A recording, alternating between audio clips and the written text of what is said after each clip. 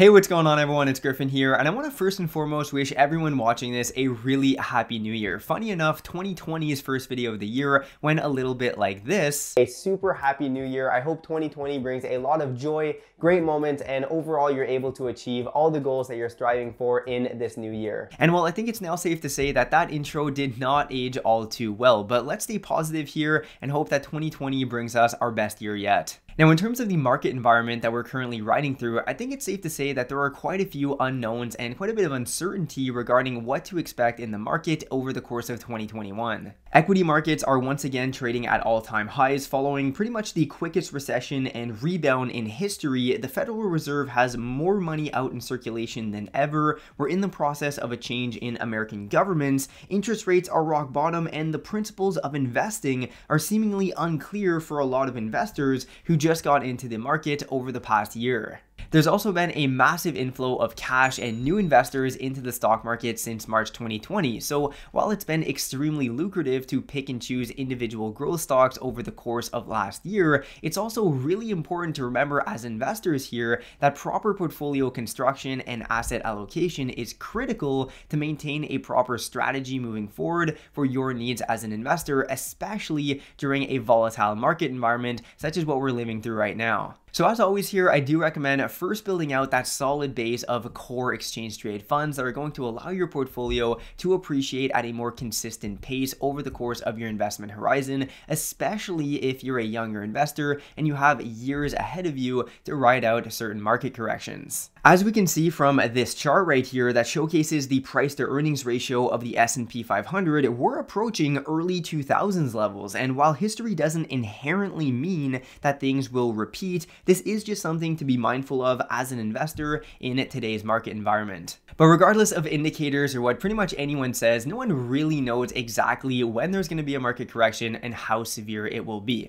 So with all that said, I do still recommend building out that solid base with some core ETFs such as an S&P 500 ETF, NASDAQ 100, and even some ARK Invest exchange trade funds. Those are really going to be some more solid picks moving forward for the overall growth of your portfolio. But today's video is going to focus on five other ETFs that you could definitely consider adding to your watch list or even your portfolio for various different reasons that we're going to be discussing today. As always, if you enjoyed today's video, give it a thumbs up, really helps the channel out. And if you're a newer investor and you want to learn everything there is to know about stock market investing from scratch, make sure to check out the link down in the description to my all-encompassing investing course that goes over everything you need to know to analyze companies and funds and build a portfolio based on your needs as an investor. So with all that said, let's get right into the first exchange traded fund. All right, so the first ETF we're going to be speaking about today is the Schwab US Small Cap ETF, ticker symbol SCHA on the NYSE ARCA. This is a fund that primarily focuses on small cap American stocks, so as opposed to say a total US market fund that holds positions of all market caps or say the S&P 500 that holds only the top 500 largest companies in America,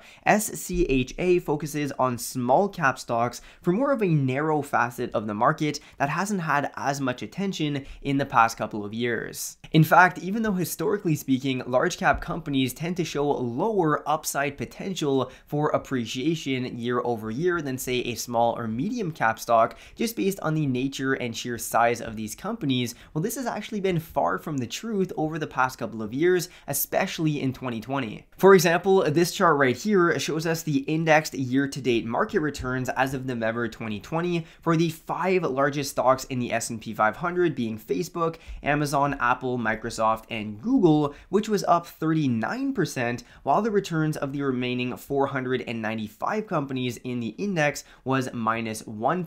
And keep in mind that all of these top five companies are extremely large cap. With that said though, small cap stocks do tend to outperform large cap companies during periods of economic turbulence and during the preliminary stages of a market recovery, which hopefully this will prove to be true over the course of 2021 and beyond. And for this reason, the Schwab US Small Cap ETF could be a great option to keep in your portfolio for this year. This fund is a really easy way to expose yourself to over 1,800 small and medium cap stocks in the American market at a very inexpensive price. The ETF also trades for roughly $89 a share, has an expense ratio of only 0.04%, which you really can't get any lower than that, and the price to earnings ratio across the fund is 17.99, which compared to even the S&P 500 is relatively much cheaper.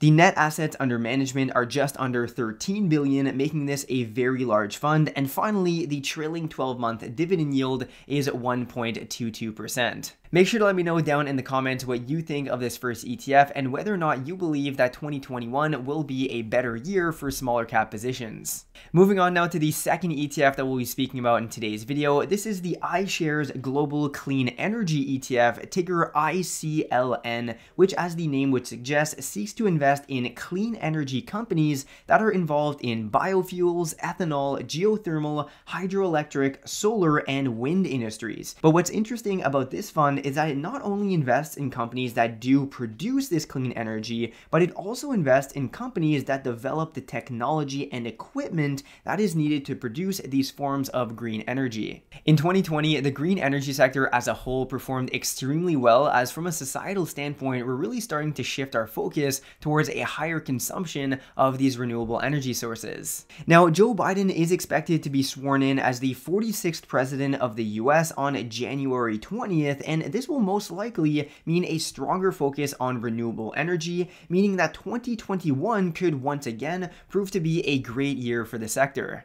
I've shared my thoughts on the channel multiple times over the past couple of months as to why I believe the renewable energy sector will have been a great industry to have invested in over the next 10 years or so, and this really just solidifies my standpoint on this. In fact, one of the main elements that I like about the business model of most of these renewable energy companies is their contractually obligated purchase agreements, often up to even a decade. This means that as governments and corporations look to further consume clean energy, many of them have entered into into agreements with these green energy producers to purchase a fixed amount of energy per year for up to or even surpassing a decade long contract. So essentially what this means is that even if we do run into more economic turmoil, many of these renewable energy companies are going to be able to maintain at a minimum a certain amount of energy out the door, meaning a certain amount of revenues. ICLN currently trades for roughly $28 per share, has an expense ratio of 0.46%, 4.58 billion in assets under management, and holds 30 individual stocks. Now, even though this ETF is certainly more of an appreciation play, it does still offer a low dividend yield of 0.3%. Now, I personally do not hold a clean energy ETF, but I do hold a handful of clean energy stocks as I do expect this industry to really excel over the next decade. And by the way, another interesting ETF in this general space is the PBW ETF by Invesco that also invests in green energy stocks and even has some electric vehicle stocks. The third ETF that I think warrants some attention moving into 2020 here is the Vanguard Value ETF, ticker VTV, which focuses on, well, theoretically, value stocks, or at least companies that are trading in a position of value relative to the general market. Remember that chart we looked at at the beginning of the video where the top 5 companies in the S&P 500 significantly outperformed the other 495 companies in that same index? Well, that chart still proves to be relevant in relation to value stocks because over the past couple of years, big tech has really replaced value stocks in regards to investor interest. But this has sort of left a gap of opportunity here, where even though the overall general stock market is valued extremely high right now, mostly concentrated in specific industries like big tech, for example, well, there are still some more value oriented industries that are expected by Vanguard to produce higher returns over the coming years following an extended period of underperformance, even though this would pose a higher risk if, as an investor, you were to try and pick and choose individual value stocks over, say, investing in a value stock fund. And this is where a fund like VTV comes in handy, where over 330 American large and mid cap stocks are grouped together based on a variety of value metrics like forward price to earnings, price to book, price to sales, and even price to dividend ratios. VTV currently trades for roughly $120 per share and has a rock bottom expense ratio of 0.04% and $94 billion in assets assets under management. The largest holdings of VTV include American staples like Berkshire Hathaway, Johnson & Johnson, Disney, and JP Morgan. And as you can see from this table, the highest concentration of stocks is in the consumer staples, financials, healthcare, and industrial sectors. Finally, the Vanguard Value ETF also offers investors a 2.56% dividend yield, which for a non-dividend focused fund is very nice. Moving on to the fourth ETF that I definitely think you should keep an eye on in 2021, we have the iShares US Medical Devices ETF, ticker IHI, which mainly focuses on companies that manufacture medical devices rather than, say, other facets of medicine that I've spoken about on the channel, like biotech or even telemedicine. In fact, I also highly recommend the ARKG fund offered by ARK Invest, which is the Genomics Revolution ETF that you can check out right here if you're interested.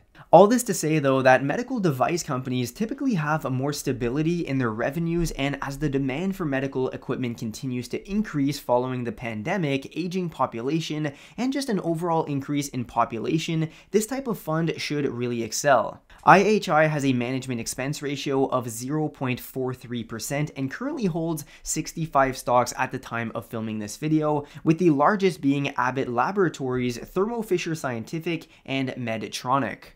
Now, even though I do think this stock will perform quite well over the coming years due to the nature of its holdings, a couple things to keep in mind here. First of all, the stock does trade above $300 per share, which doesn't really mean anything on a relative basis, but if you are a newer investor with limited capital, this can be a more expensive fund to start investing in. Another thing to keep in mind here for this fund is that the average price to earnings ratio is around 47x, which is on the higher end here and is definitely more of a orange to red flag for me. So when we think of the medical industry, typically what comes to mind, at least for me, is facets of the industry like big pharma, as well as now telemedicine, which has really taken investors by storm over the course of 2020. But this is another facet of the medical industry that if you don't necessarily have any exposure, this could also be a nice addition to the portfolio because I think it's going to do very well over the coming years. And finally, the fifth and last ETF that we'll be speaking about today is significantly more of a gamble in that the assets under management for this fund are a lot lower than any of the other four that we spoke about,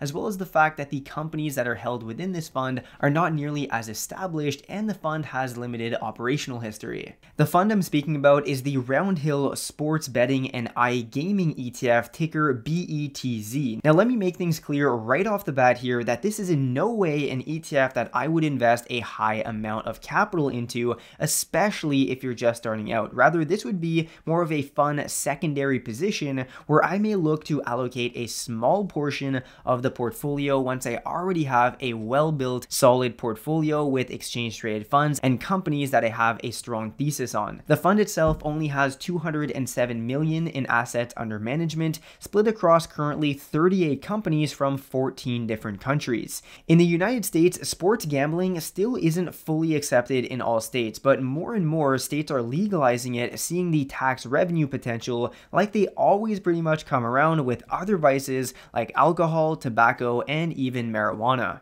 Now, since this is a relatively newer industry that most of you may not be familiar with, let's actually see what Roundhill has to say about this fund on their website. So the Roundhill Sports Betting and iGaming Index is the first index globally designed to track the performance of the sports betting and iGaming industries, and this index consists of a tiered weight portfolio of globally listed companies who are actively involved in the sports betting and iGaming industry. So this classification includes companies that are going to operate in-person and or online sports books, companies that operate online and internet gambling platforms, and finally, companies that provide infrastructure or technology to such companies. So this ends up including companies like Penn National Gaming, Flutter Entertainment, which actually owns PokerStars, and even DraftKings, along with other pretty interesting international gaming companies. Now, while most organized and professional sports ended up having either a truncated or even downright cancelled season in 2020, hopefully in 2021 and beyond, once a vaccine really starts getting rolled out, we're going to see an increase in sports betting again as a result of these sports actually being up and running. So yeah, definitely an interesting fund to say the least. It has a 0.75% expense ratio, which is much higher than the others on today's list. But if you're interested in exposure to betting and gambling, this could be an interesting option for 2021 that is definitely outside of your core holdings for your portfolio. This pretty well wraps it up for today's video covering five exchange traded funds that you should definitely keep on your radar for your portfolio in 2021 that are outside of your core holdings that you should definitely be building out for your long-term investment strategy. I really hope you enjoyed the video. If you did, make sure to drop a like. It really helps the channel out. And if you want to learn more about stock market investing, make sure to subscribe to the channel and hit the bell button to be notified whenever I release new and upcoming content. And with that said, if you want to learn more in-depth and concrete information about how I analyze companies and read through balance sheets, income statements, and all of that jazz, make sure to check out the link down in the description to my full stock market investing course. Thanks a lot for watching today's video, and I'll see you in the next one.